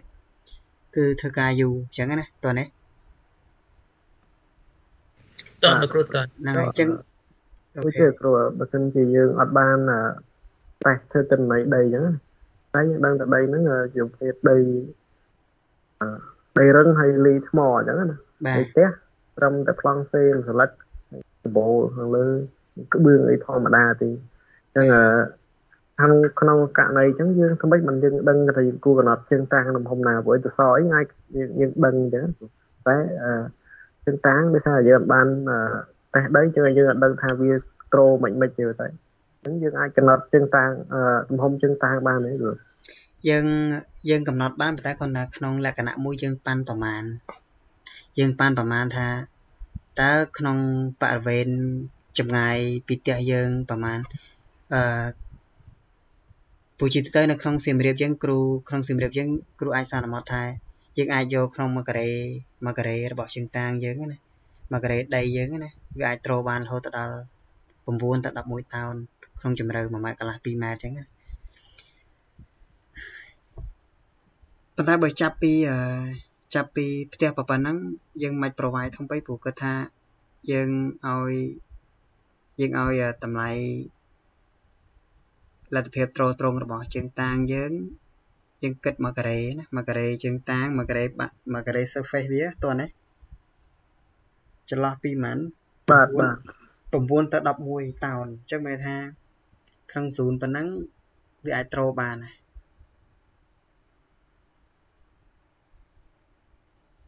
តោះណាបាទគ្រូអូខេអញ្ចឹងយើងយើង back ទៅតសយើងថាតំបន់តសយើងតសមួយហ្នឹងកម្លាំងអឺគេហៅ កម្លាំងចុងសសរអាពេលអ៊ុយរបស់យើងហ្នឹងប្រហែលអញ្ចឹងយើងទៅបើថាវា1ម៉ែត្រគុណ1ម៉ែត្រអត់គ្រប់គុណប្រីទៅថាគុណទៅថាគុណនឹង120 120មកបានប្រហែលការ៉េហើយយកបូកយកកម្លាំងនឹងដកគ្នាទៅបើវាតូចជាងបាទកម្លាំងបញ្ជូនមកតូចអាកម្លាំងត្រធំជាប់ហើយមិនចាំនេះទេតោះណា បាទអូខេអញ្ចឹងពេលដែលយើងកំណត់ជើងតាងយើងអត់ដឹងទិន្នន័យដីអញ្ចឹងមានតែយើងសួររោព័ត៌មានដែលគេឆ្លប់តេស្តដីពីមុននឹងម្ដុំម្ដុំហ្នឹងឯងបាទហ្នឹងបើសិនបើយើងអត់អត់មានណាប៉ុន្តែនៅក្នុងសៀមរាបយើងលបាក់លបាក់លបាក់ប៉ុណ្ណឹងឯងដែលដែលពេលខ្លះគ្រូមិនមិនបានតតេះដីដែរហ្នឹងយើងសន្មត់យកតែគាត់ថាសន្មត់ពេលខ្លះបើសិនបើយើងចង់ឲ្យច្បាស់ ឲ្យយើងឲ្យច្បាស់ថាយើងចេញទិន្នន័យមកមានមានតម្លៃមានអីណាអាហ្នឹងតើយើងឲ្យគេតេស្តតែបើសិនបើយើងធ្វើមិនចាំបាច់អាគារប្រងសេ2កន្លះអីហ្នឹងអឺពេលខ្លះយើងបើគាត់ម្ចាស់គាត់មិនមិនតេស្តដីទេយើងសន្មត់យក11តោនអញ្ចឹងឬក៏9តោនអីទៅយើងអាចអឺបាទបន្តិចគ្រូប្រភេទអឺ អាចមានវិស័យវិស័យកិលភូមិសាស្ត្រច្រើនគាត់ដើរទៅដីច្រើននៅគុំរៀងបាទអឺនៅសៀមរាបវាអត់មានផ្ទះដែលត្រូវឌីហ្សាញនៅក្រៅក្រៅខេត្តហ្នឹងពេលអញ្ចឹងយើងអត់ដឹងអាទិន្នន័យដីពេលទៅយើងមានតែសន្មត់យកចាំនេះចាំលោកគ្រូផ្ញើទិន្នន័យឲ្យគ្រូតេស្តនៅកវត្តក្រុងតេស្តនៅចិត្តអឺ តេស្តនៅចិត្តក្រៅសេះគ្នាយើងនៅណាដីគ្នាយើងអឺនិយាយទៅចេះគ្រូខ្ញុំគាត់ថាមានប្រងក្រៅខែអញ្ចឹងណាអញ្ចឹងជំរាបអត់ទាន់មានទេតែគាត់យើងអត់ដឹងដីអញ្ចឹងគាត់ណាសួរម្ចាស់ផ្ទះត្រួសត្រួសឲ្យគាត់តេស្តដីឲ្យគាត់មិនតែអូខេយើងយើងឥឡូវសូមអូសូមសូមតោគ្រូបាទបាទ យើងស៊ូត្រុសត្រុសយ៉ាត់ច្រឡំដីនោះកឡុកពីជំនាន់មុននេះគេចាក់ដីថ្មីថែមទេយើងយើងមើលឲ្យច្បាស់សិនណាគ្នាយើងគ្រូអត់បើថានៅសៀមរាបគ្រូមានតិន័យគ្រូផ្សាយឲ្យបាន តែបើនៅអានោះសួរគេច្បាស់តិចគេលុបកលុប4ម៉ែត្រអី vivo ដែរបាក់ចំតពាំងមួយមុំបាក់ជើងណាអឺមើលគ្រូតិននៃដីមើលគ្រូជួយប្រាប់ផងហើយអត់ចេះមើល ចាំចាំលោកគ្រូផ្ញើឲ្យហើយលោកគ្រូនឹងប្រាប់ថាកន្លោណាយើងមើលអីណាអឺគ្រូមានសភៅតែសភៅចាំមើលគ្រូផ្ញើសភៅគ្រូថតពីមានយ៉ាក្រាមហើយនឹងទំហំណាពីមានជើងតាងហើយនឹងកលាផ្ទៃត្រូ ជាមួយនឹងសសរគ្រឹះព្រោះសសរគ្រឹះគេគិតទៅលើ fraction ជាមួយនឹង bearing capacity អា friction ហ្នឹងគឺសំដៅទៅលើ សំដៅទៅលើគេសំដៅទៅលើកម្លាំងកកាត់ដល់ពេលអា bearing capacity ហ្នឹងគឺសំដៅទៅលើកម្លាំងត្រអញ្ចឹងគេគិតពីរហ្នឹងណាបើសិនជាដីដែលល្អប្រភេទអីគេដីដីឥដ្ឋវាកម្លាំង friction វាខ្លាំងមែនទេ friction ក៏ខ្លាំងអឺ bearing ក៏ខ្លាំងតែបើពួកខ្សាច់កម្លាំងអីគេខ្លាំងហើយខ្លាំងអឺ ចាប់ខ្លាំងលោកគ្រូចុះកម្លាំងត្រូចាំទៅ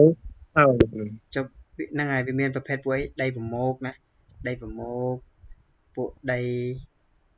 អាដីអាដីបាត់បឹងដីខ្សាច់ដីកដេងដីថ្មអីចឹងតែបើសិនបើប្រភេទដីយើងគ្រួសគ្រួសហើយអាគ្រួសគ្រួសរឿងអាគ្រួសក្រហមក្រហមហើយមានប្រភេទដីមានឥដ្ឋតិចតិចណាអាហ្នឹងអត់អីទេអឺ ដីហ្នឹងល្អហើយតែបើសិនប្រភេទពួកដីលបាយលបាយខ្សាច់រាងក្រហមហើយមានអាអាគ្រប់គ្រោះតិចតូចអាហ្នឹងវាធន់បានដែរប៉ុន្តែបើគិតកម្លាំងត្រូអូខេតែបើសិនបើគិតកម្លាំងកកិតមិនសូវមានប្រហែលទេអឺ គ្រូមួយទៀតអាខ្ញុំខ្ញុំអត់សូវចេះមើលដីតេតងដីយើងអឺអាចកំណត់បានដីប្រភេទណាដីរបៀបម៉េចដែលយើងគិតថាដីល្អដីរបៀបម៉េចដែលវាដីដែលខ្សោយហ្នឹងគ្រូដីខ្សោយមានតែប្រភេទពួកដីប្រមោកណាដីប្រមោកខ្សោយទាំងកម្លាំងសកត់អត់ខ្សោយទាំងកម្លាំងត្រូនិងខ្សោយទាំងកម្លាំងកកិតដូចជាដីដីដូចដីតលេមួយដីអឺស្ពានចូលចង្វាដែលគេធ្វើតសគឺណាខួងរហូតដល់ប្រហែល អឺ90 100អឺប្រហែល7 80ម៉ែត្រណារាប់มันកម្លាំងទប់បានណាពួកវាវាជ្រៅវាសិតតែដីប្រមោកសិតទៅពេលអញ្ចឹងបើយើងគិតកម្លាំងគិតកម្លាំងត្រូសឹងតែមិនដូចផុយគេថាយើងតម្លាក់ទៅវាផុយព្រួចមកវាអត់មានអីឆាប់ណាបើមិនអញ្ចឹងដីដែលខ្សោយជាងគេគឺប្រភេទពួកដីហ្នឹងដី តែយើងមានប្រភេទថ្មដែរបើមិនជាប្រភេទពួកថ្មដាថ្មដាបើតែបើថ្មដាហ្នឹងវាមិនមែនប្រភេទធំវានៅក្រាបគ្នាយ៉ាងហោចណាស់អឺដូចជា1ម៉ែត្រកន្លះ2ម៉ែត្រអីហ្នឹងក៏មិនអីដែរព្រោះឃើញយើងឃើញឯងពេលសកត់គ្រឹះពេលខ្លះគ្រាន់តែនៅក្នុង zone នៅក្នុងសៀមរាបដែលគ្រូសកត់នេះចូលបានតែ4ម៉ែត្រវាវាហើបជើងមានថាវា លើចំណោះដល់ពេលយើងបន្ថែមទម្ងន់ថ្មថែមវាផុយតែពេលវាផុយផុយព្រួចហ្មងអញ្ចឹងមានន័យថាដីយើងមកក្នុងស៊ូនខ្លះរឹងត្រឹមសន្ទាប់4ម៉ែត្រ6ម៉ែត្រតែដល់ពេលផុតពីហ្នឹងធូរតែដីខ្លះដូចដីនៅបរិយទេសចរអីស្កត់ពី10ម៉ែត្រទៅផុយលិចបាត់ក៏មាន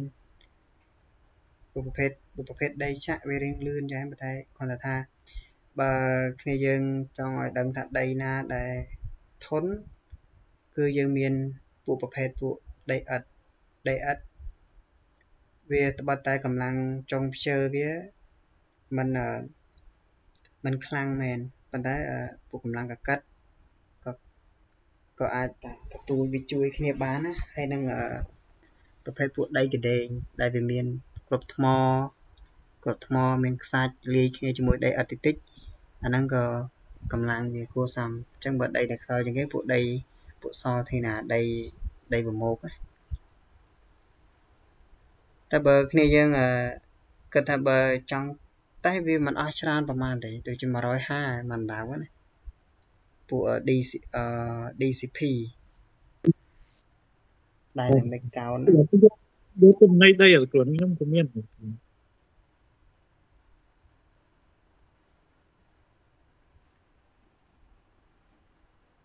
តើនេះអឺយ៉ាងណាសួរបាទតើហ្នឹងហើយសុភ័ក្រសុភ័ក្រតហ្នឹងណាមិញហ្នឹងហើយបាទអត់អីបើបើមានទិន្នន័យដីអូខេបើមានទិន្នន័យដីអត់ចេះមើលចាំផ្ញើចូលក្នុងគ្រូមកចាំគ្រូប្រាប់ថាអាហ្នឹងតែយើងគួរមើលកន្លែងណាហើយតម្លៃណាដែលយើងត្រូវប្រើនេះនេះខ្ញុំមកមើលជូនតែអានេះវាគ្រូយកទិន្នន័យដីអត់គ្រូបាទ វាគ្រូយកទិន្នន័យដីអត់សម្រាប់ការគណនាយើងយកពេលដែលយើងពេលដែលយើងមកគណនាចំនួនតសគ្រឹះបាទពួកចំនួនតសគ្រឹះយើងយើងត្រូវមានតនន័យថាពេលហ្នឹងគេនឹង provide ឲ្យគេខាងតេស្តដីគេផ្ដល់ឲ្យថាអតសគ្រឹះគេហ្នឹងមកកាត់ប្រព័ន្ធនេះកម្លាំងក៏កាត់ប្រមាណកម្លាំងត្រប្រមាណ ក្នុងជម្រៅប្រមាណម៉ែត្រអញ្ចឹងណាហ្នឹងហើយអញ្ចឹងយើងយកគេហៅលទ្ធភាពត្រត្រង់របស់ភ្ជើម្ដើមហ្នឹងមកចែកហ្នឹងមកចែកអឺយកតម្លៃកម្លាំងយើងសរុបបន្ទុកយើងសរុបមកចែកហ្នឹងលទ្ធភាពត្រត្រង់អញ្ចឹងយើងឃើញចំនួនឧទាហរណ៍យើងឃើញចំនួន5ដើមយើងវាយ5ដើមទៅឃើញ4ដើមវាយ4ដើមមកបានយើងបានយើងមកគិតទំហំ ជើងតាង pie cap ក្រោយថា pie cap យើងទំហំប៉ុន្មានអីប៉ុន្មានតោះណាអាហ្នឹងយើងត្រូវការប៉ុណ្ណាយើងត្រូវការពេលដែលយើងគណនាចំនួនសសរគ្រឹះ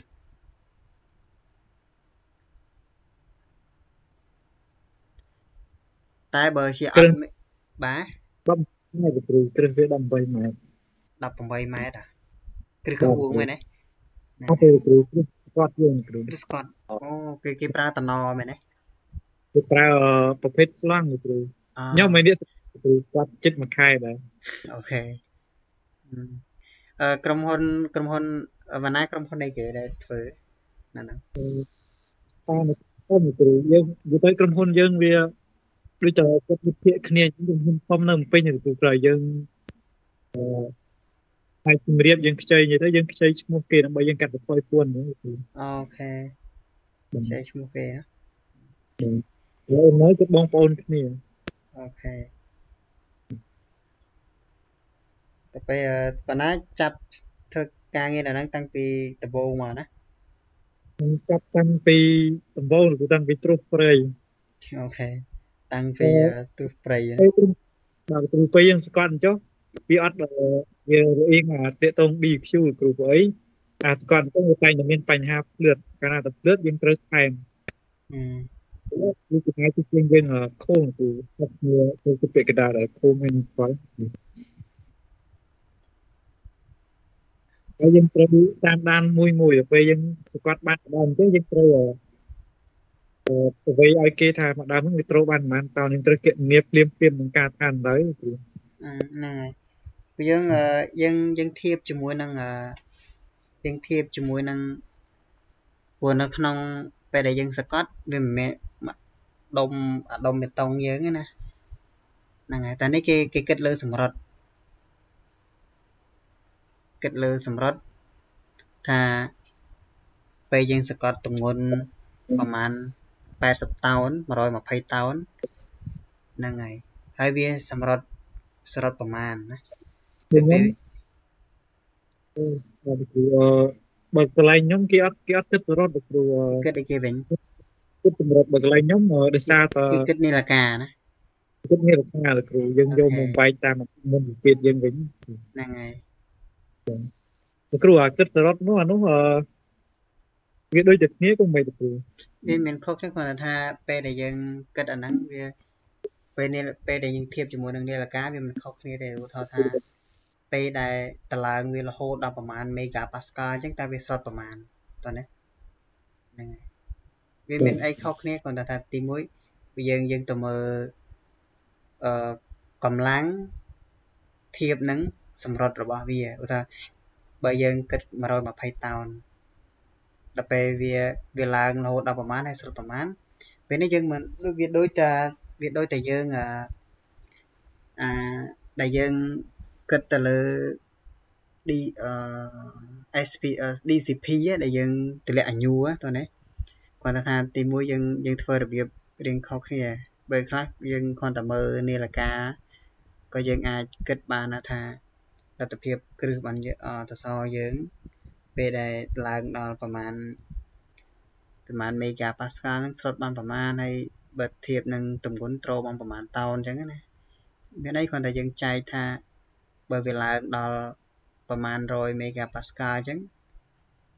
តែវាត្រូទម្ងន់បានប្រមាណតោនដូចគ្នាមែនទេបាទណាណោះគេគិតយ៉ាងដែរបាទគ្រូហ្នឹងហើយយើងគិតគណិតបាទព្រោះនោះពេលពេលពេលដែលវាវាញាក់វាឡើងទ្រូទ្រូតមកអានីលកានេះវាឡើងហើយពេលវាឈប់ពេលដែលវាអឺសាក់ស៊ីយើងហើបជើងនីលកាយើងមើលនីលកាថានីលកាយើងប្រហែលមែនទេ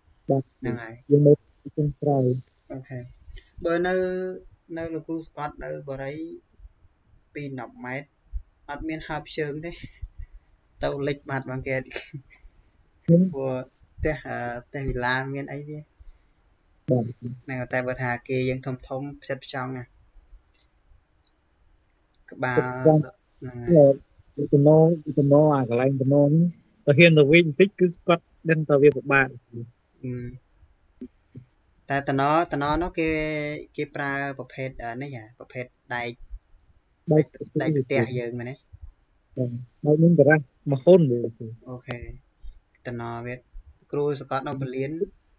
ប្រើតំណដែរគ្រូគេប្រើដៃអញ្ចោះអាហ្នឹងវាមិនដែលវាជ្រេះអាលើវាយូរឆ្នាំដែកហ្នឹងគេមានទៅជួយអីគ្រាន់តែថាសកតកុំឲ្យវាផ្លាត់ហ្នឹងវាច្រេះក៏ច្រេះទៅ ដល់ពេលយូរទៅដីវាទុកភាពអញ្ចឹងវាអត់កន្លាញ់ហ្នឹងហើយព្រោះបើយើងអត់ដាក់ឲ្យយើងអត់ប្រើតំណគឺផ្លាត់ពេញហ្នឹងហើយអញ្ចឹងអាហ្នឹងសម្រាប់តាអឺសំខាន់ពេលដែលសង្កត់ពេលដែលសង្កត់ហ្នឹងណាគឺសំខាន់អាហ្នឹងតែគាត់ហ្នឹងផ្លឹបមួយគ្រូតែផ្លឹបមួយខែមិន3វាវាមិនវាវាដែកវាអាដែកហ្នឹងវាវាដាច់ហ่ะតែទឹងសា ដល់ពេលវាតឹងតឹងទៅខ្ញុំខ្ញុំអឺមុនដំបូងវារៀងវារៀងវិញបន្តិចគ្រូវារៀងវិចប្រយោជន៍យើងបន្តិចទៅដល់ពេលកម្លាំងវាអត់គ្រប់កម្លាំងអត់គ្រប់ទេខ្ញុំបង្ខំនេះស្កាត់ថាថែមថែមថែមថែមថែមភឹងភឹងទៅវាធូររហួយវាឈប់តឹងវិញមុនគឺអញ្ចឹងវាដាច់អាចំណងក្រោមដល់ពេលអញ្ចឹងទៅអឺដល់ពេលទៅទៅគេនេះ design ទៅវាថែមវិញវិញគឺខូចជាមួយអូ បើដល់បើគ្រូធ្វើខាងមួយពួកអឺអ៊ីតាលីផងយើងខនខុសអាតិចតួចគឺពីរថ្ងៃទៅណាតម្រាំគេ revise design អីណាច្រើនណាស់ខ្ញុំបានថាអាគារមួយមួយយើង design ពេលដែលការឋានអាគ្រឹះក្រោមនេះគេប្រយ័ត្នដែរបើអាគារខ្ពស់ខ្ពស់ណាអឺហើយគ្រឹះខួងក៏គេប្រយ័ត្នដែរ ទីមួយអឺផ្លាច់ពេលដែលយើងចាក់បេតុងវាមិនបានគិតមិនវាមិនបានអឺស្អាតព្រោះនៅក្នុងដីយើងមើលមិនឃើញតតែចាក់ហើយគេតេស្តទៀតតេស្តកម្លាំងតេស្តអីមើលអូខេហ្នឹងហើយអឺគ្នាយើងស្អែកបញ្ជាក់ណាយើងស្អែកយើងចូលទៅសាច់រឿងក្នុងមេរៀនតែម្ដងណាយើងចូលទៅបង្កើតអ កាត់អីនៅនឹង software យើងតែម្ដងហើយសប្តាហ៍ក្រោយយើងគឺថាគ្រូមិនជាយូរប៉ុន្មានដែរបើសិនបើគ្នាយើងអឺតាមតាមតាមតន់ប៉ុន្តែនៅក្នុងការរៀននេះ គឺយើងរៀនដើម្បីយកទៅធ្វើការឲ្យកើតរយៈពេលយើងចាំគិតគ្នាក្រោយណាហ្នឹងសំខាន់យើងទៅរៀនឲ្យចេះធ្វើការបាន មានន័យទេគ្រាន់តែយើងរៀនឲ្យចេះទៅកុំឲ្យ engineer អត់អត់ចេះការងារពិបាកណាមិនណាក៏គេឲ្យផ្ទៀងផ្ទាត់ដែរណាបាទណាខ្ញុំបើផ្ទះទៀតយើងគិតធ្វើទៅវាចេះឬក៏ធ្វើធ្វើឬក៏តាប់ធ្វើផង យើងទិញគិតបាក់ទៅតែបានតែខ្ញុំទេបើអីផ្សេងអត់ដែរពេញគិតឲ្យពេញគិតតែខ្ញុំទៅគ្រូអូខេអត់អីហ្នឹងហើយ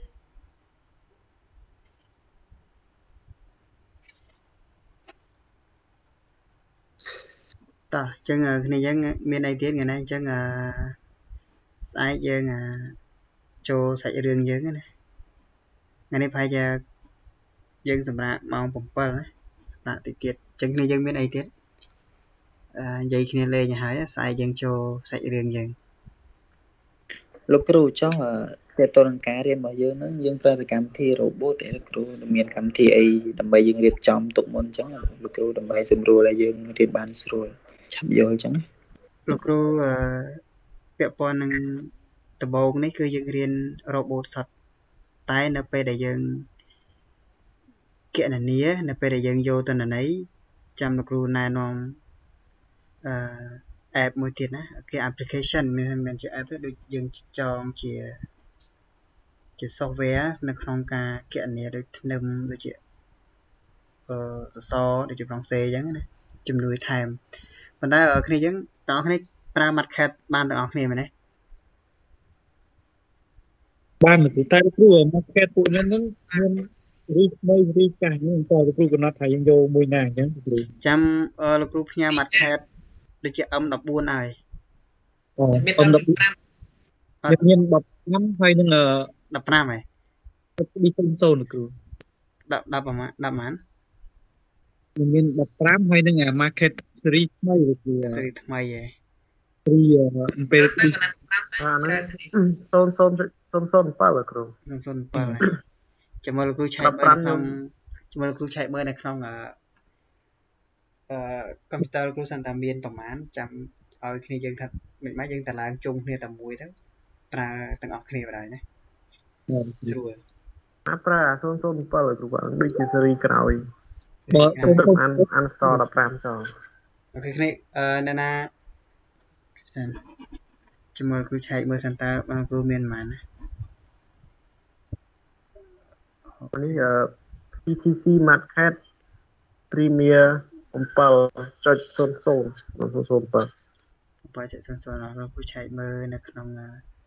បងគ្រូសិនតើមានដូចគ្នាអត់ណាអានេះមើលទៅប្រហែលជា last version ហ្នឹងម៉ាត់នេះនេះដូចវិញលោកគ្រូ market នេះគ្រូគ្រូយើងកំណត់ប៉ុនកំណត់អីបាននិយាយទៅដូចបោះថ្ងៃយើងយកពីពិសេសអូនេះលោកគ្រូមានតែ market 15ណាអឺ0 M 050 អានេះអឺគ្នាយើងមានមាននរណាដែលស្រួលស្រួលជាងនឹងទៀតចាំមកកាត់ថ្មីព្រោះថ្មីស្រួលថ្មីហ៎ឥឡូវឥឡូវផ្ញើអាថ្មីនឹងចូលនៅក្នុងអឺនេះយើងមកនៅក្នុងក្រុមយើងមកអឺបាទគ្នាយើងអឺតទៅឡើងណាបណ្ណាចាំ follower របស់បងពូលីហ្នឹងផ្ញើចូលទៅចាំប្រាប់តឡើងផងតតឡើងតែម្ដងហ្នឹងចេះតឡើងអឺអាហ្នឹងតែអាហ្នឹងមានវីដេអូវាស្រេចចាខ្ញុំអូខេអូខេអូខេហ្នឹងហើយហ្នឹងយើងហើ យយើងប្រើជុំគ្នាតែមួយមកស្រួលណាក្នុងការពេលដែលយើងកណនីយើងចង់យកកណនីទៅកណនីទៅសកណនីអញ្ចឹងយើងយកយើងប្រើ market ជំនួយទៅចាំលោកគ្រូណែនាំថែមដើម្បីយើងចងជាឯកសារទុកថ្ងៃក្រោយណាលោកគ្រូគ្រូសខ្ញុំសុំសួរសភៅកូដហ្នឹងដែលគេមានគេប្រែជាខ្មែរគ្រូអត់មានតែនេះវាមិនងាយមានណាតែគេមានប្រែក្នុងអាមេអីគ្រូ មិនងាយមានព្រោះអីអាសភៅកូដហ្នឹង3ឆ្នាំវាចេញម្ដងអញ្ចឹងព្រោះថាយើងទម្រាំបកប្រែបើថាគ្រូអីគាត់បកប្រែ4ចុះ4 5 600ទំព័របកប្រែចប់អីចឹងចេញតែថ្មីទៀតបកប្រែទៀតណាអញ្ចឹងវាអត់នេះតើណាអញ្ចឹងអត់មានបកប្រែទេតើណាអញ្ចឹងមានតែអង់គ្លេសអញ្ចឹងគ្នាយើងទ្រាំណាអង់គ្លេសគ្នាយើងស៊ីផុយមែនទេពីភ័យដូចអឺនេះ សភៅកូដដែលគ្រូផ្ញើទៅរឿងអឺល្អណាគួរសមយើងអាចទៅមើលត្រួសត្រាសបានសភៅកូដនេះវាទី1យើងទៅមើលប្រភេទមេគុណហើយនឹងអឺតិន័យដែលគេប្រវាមជាឧទាហរណ៍កម្រាស់ប្លង់សេយើងយកយកប្រហែលជាកា180 170ឬក៏160អីចឹងទៅតាមតាមកូដមួយមួយវាឲ្យ អញ្ចឹងនៅក្នុងអឺនៅក្នុងសភៅកូដហ្នឹងនេះវាចេញវាមានឲ្យយើងដូចប្រភេទអឺហ្នឹងហើយប្រភេទពួកបេតុងប្រភេទអីចឹងវាវានឹងកំណត់ថាយើងទៅតំណដៃតំណអីចឹងតាមកូដមួយមួយវាចេញមកវាចេញឲ្យយើងប្រើអញ្ចឹងវាមានអីទេអឺខ្មែរស្រុកខ្មែរយើងដែលមិនទាន់ស្តង់ដារដូចនៅស្រុកអាមេរិកគឺយើងអាចប្រើបានប៉ុន្តែបើនៅស្រុក អាមេរិកអត់បានទេរាល់ចេញទិន្នន័យការ design មួយមួយត្រូវមានកូដត្រូវមានលេខរៀងឲ្យគេណាឧទាហរណ៍តំណដែកយើងយកកូដណាមកប្រើហើយលេខរៀងទីប្រមាណអញ្ចឹងណាក្នុងនេះវាមានលេខវាកតុយវាអញ្ចឹងកតុយប្រមាណកតុយប្រមាណយើងយកមកប្រើប៉ុន្តែបើយើងយើងគ្រាន់តែមើលហ្នឹងមើលឲ្យដឹងថាតើនៅក្នុងកូដនេះតំណអីលេខប្រមាណលេខតំណអី បើគេឲ្យប្រមាណអីប្រមាណកម្រាស់ប្លង់សេមេគុណកម្រាស់ប្លង់សេអញ្ចឹងយើងយកប្រមាណ180 170អីចឹងទៅអញ្ចឹងអាហ្នឹងនៅក្នុងអឺកូដវានឹងផ្ដល់ឲ្យយើងអញ្ចឹងណាដូចប្រភេទនេះណាអឺអូខេ time mode encrypt pen ណា anchor to encrypt Okay.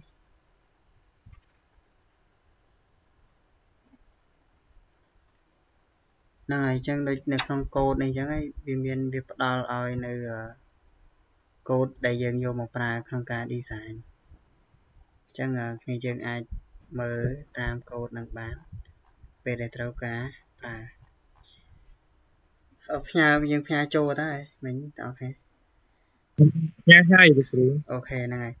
ចឹងអត់អីថ្ងៃនេះយើង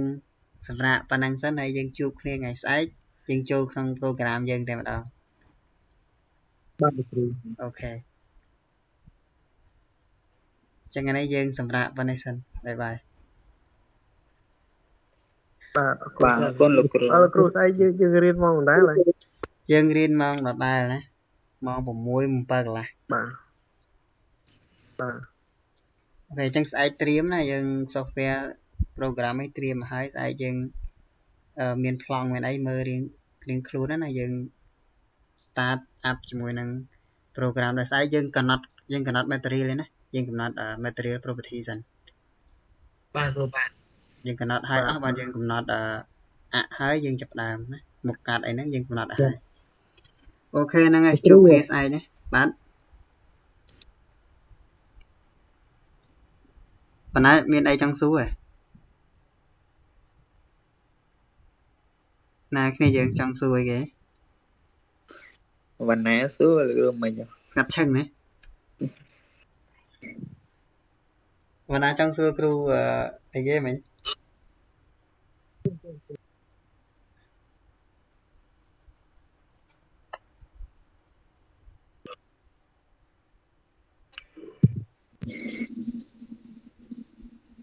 មានមានអីទៀតគឺយើងនៅមានអីទៀតសួរហើយណាបណ្ណា slow ហ្នឹងគ្រូបណ្ណាថា slow ហើយណាឃើញលឺដាច់លឺដាច់គ្រូខ្ញុំខ្ញុំចង់សួរពីបាទស្រាក់ដែលយើងត្រូវ model ហ្នឹងយើងយើង model តាមប្លង់ structure របស់បណ្ណាឬក៏មិនដែរគ្រូឬមួយក៏យើង មានវិធីសាស្ត្រចែកមិនគុណមិនដើម្បីឲ្យដឹងហើយយើងកំណត់ខ្លួនឯងអញ្ចឹងណាគ្រូអឺ នៅពេលកំណត់យើងដែលយើងកំណត់ហ្នឹងគឺយើងកំណត់ឧទាហរណ៍អឺប្រភេទធ្នឹមអញ្ចឹងយើងមានមេគុណថាថាធ្នឹមយើងយក L ចែកនឹងប្រមាណដើម្បីកំណត់បានណាតើនេះបានដែលលោកគ្រូយកនេះគឺយើងលោកគ្រូយកមានថាតម្រងຂະຫນាតអាស្តិចទេតើនេះតម្រងຂະຫນាតអាស្តិចរបស់គេ តែ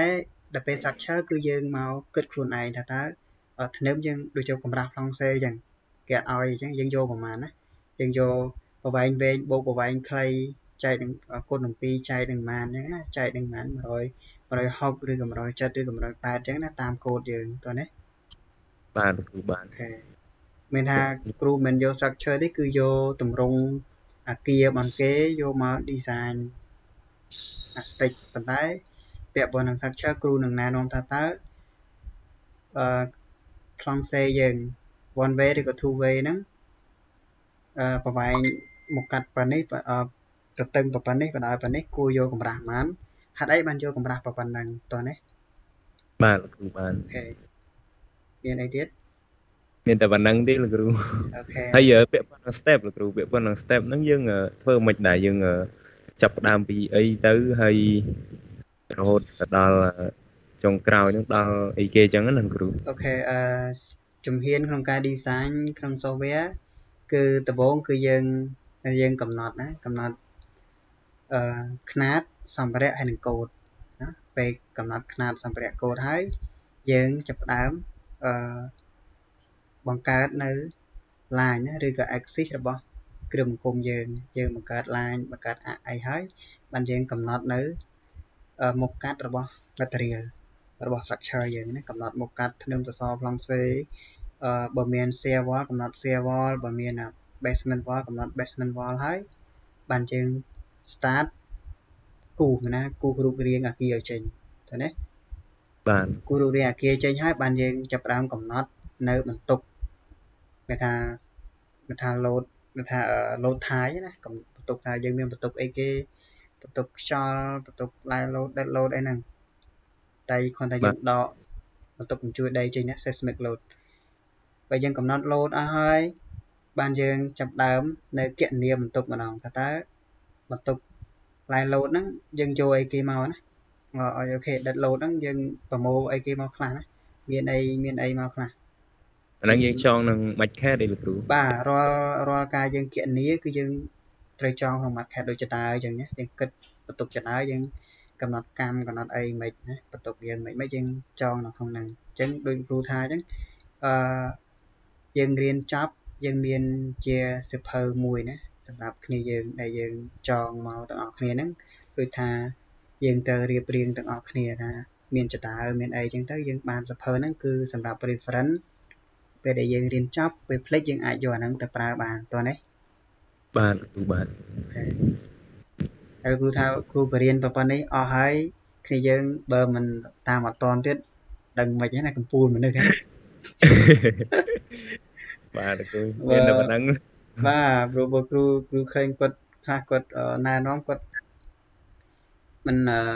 យើង direct ទៅតែម្ដងអញ្ចឹងណាប៉ុន្តែលោកគ្រូនេះគឺថាឲ្យគ្នាយើងយកទៅអាចធ្វើការបានអញ្ចឹងណាអាចអឺធ្វើការងារគណនាអីខ្លួនឯងដោយមានទំនុកចិត្តធ្វើបានអញ្ចឹងណាហ្នឹងហើយហើយយើងមានសភៅ reference រាល់ការ design រាល់ការគណនាយើងមានអំណាចអំណាចយើងច្បាស់លាស់អញ្ចឹងយើងអាចធ្វើការទៅអត់ព្រួយបារម្ភទេណាបាទលោកគ្រូចង់អឺការទៅទៅនឹងការរៀនរបស់យើងហ្នឹងយើងរៀនតាមមកគម្រោងរបស់បងរបស់បណ្ណាចប់ឬក៏មិនលោកគ្រូគម្រោងមន់គ្រូយើងមាន3ណាគ្រឿងបង្គំបេតុងអាមេមួយគ្រឿងបង្គំដែកមួយគ្រឿងបង្គំបង្គំ mix structure មួយណាបាទលោកគ្រូ mix structure ហ្នឹងគឺយើងមានបេតុងលាយជាមួយដែកដូចជាយើងឃើញគេយើងឃើញ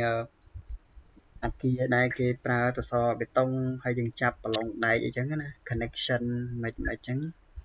តែគ្រាន់តែយើងរៀនស្មុកស្មាញតិចជាមួយនឹង mix structure ណាសឹកស្មាញទៅលើការងារចងណាតំណព្រោះតំណយើងពេលយើងជឿក្បាលណាតំណតែយើងត្រូវរៀនធ្វើម៉េចឲ្យយើងដឹងតែគាត់ថាបេតុងអាមេរៀងស្រួលជាងគេណា បើរៀងដែករៀងសាំញ៉ាំតិចដែក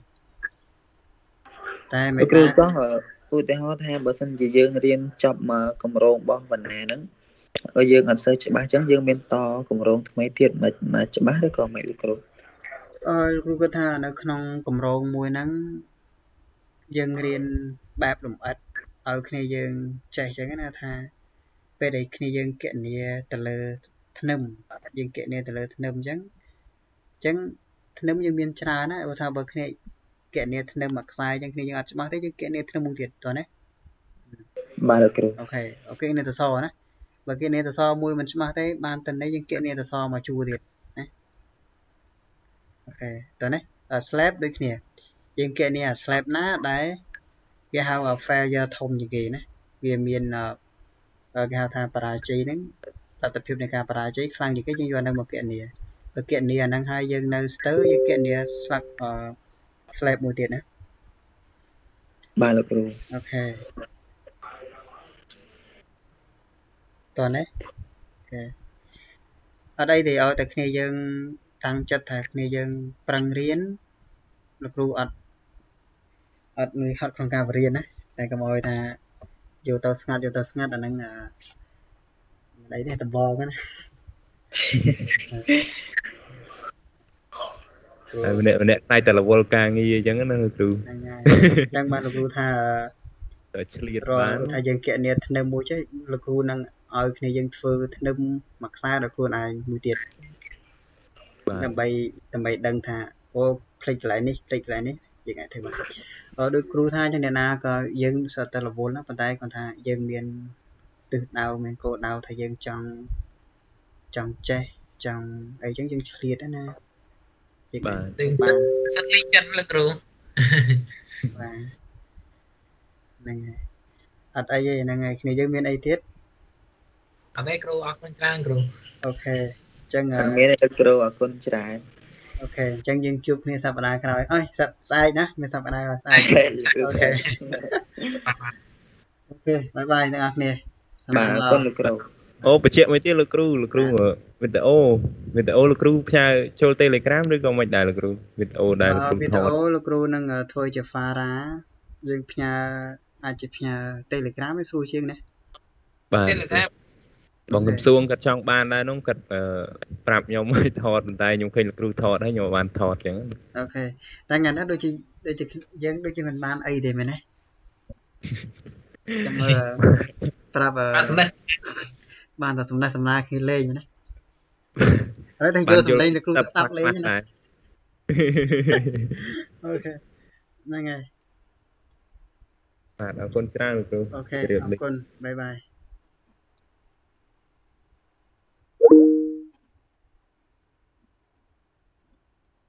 my my student